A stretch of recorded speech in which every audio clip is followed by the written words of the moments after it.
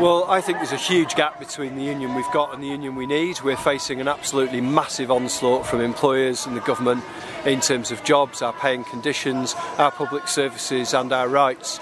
And uh, though I think there's been some progress in Unite in recent years, we're just not matching up to that at all.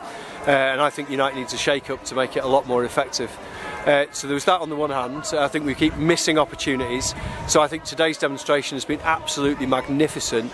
I think it would have been brilliant if we'd called something like this in the middle of the junior doctors' strike when the Tories were on the back foot over the health service. I think it was a mistake to get them, give them the time to get back up off the ground and start giving us a kick in instead of kicking them when they were down.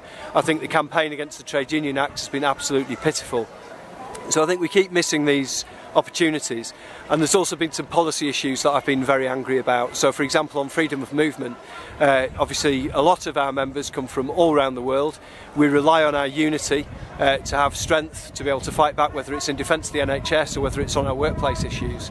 Um, and whenever there's nationalism or racism, it undermines that unity, it undermines that strength, and it makes it harder for us to win and people are feeling afraid at the moment. Their rights are under attack if they happen to have been born outside the UK or not have British citizenship. And I think part of the job of the union is to stand up for workers' rights.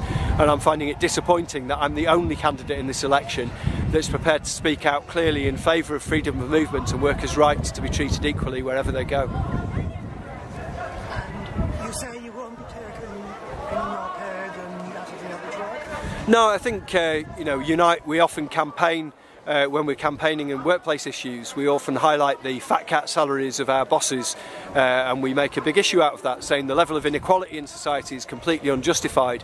And I think it gives ammunition to our enemies, whether it's the employers or the right wing press, to have people at the top of the union who are on six figure salaries as well. So if I'm elected, I'll stay on my current salary, which for the avoidance of doubt is a little bit less than Len McCluskey's.